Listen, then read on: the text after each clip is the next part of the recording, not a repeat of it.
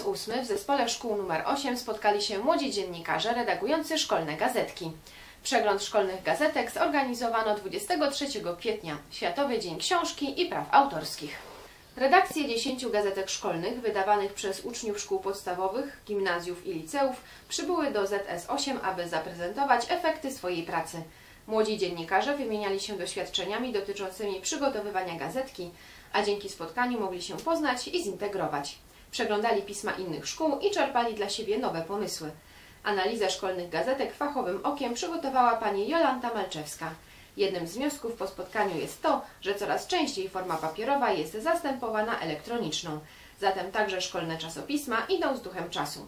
Specjalnym gościem przeglądu był ksiądz dr Wiesław Chudek, poeta i felietonista. Jest już ósmą edycją. Zawsze odbywa się w zespole szkół numer 8, gdzie bardzo serdecznie witamy redakcje zarówno ze szkół podstawowych, gimnazjów, jak i liceów.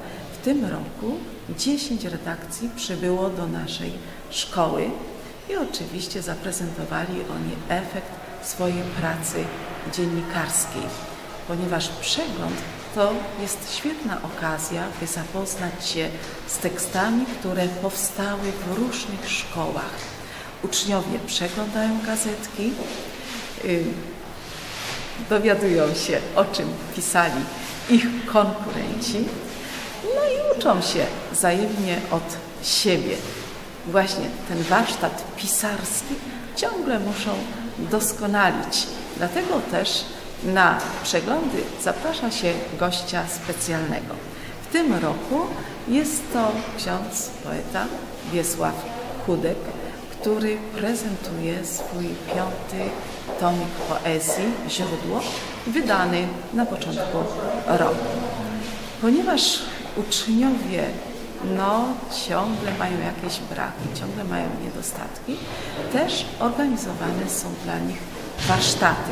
W ubiegłych, rok, w ubiegłych latach przybyli goście, którzy zapoznawali z tajnikami dziennikarstwa.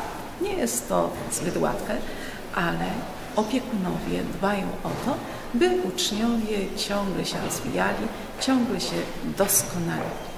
Instrumentalna, chór, e, no i dopiero teraz, kiedy e, zaistniały sprzyjające warunki, możemy te muzykalia, to znaczy te utwory muzyczne, które tam powstawały, były specjalnie dla tego miejsca komponowane, te utwory możemy wydobyć z archiwów, możemy je wykonywać, grać czy śpiewać w zależności od tego, co to za utwór i możemy je nagrywać. I powstaje taka seria płyt kompaktowych, gdzie te utwory są nagrywane. W tej chwili jest już 50 takich płyt.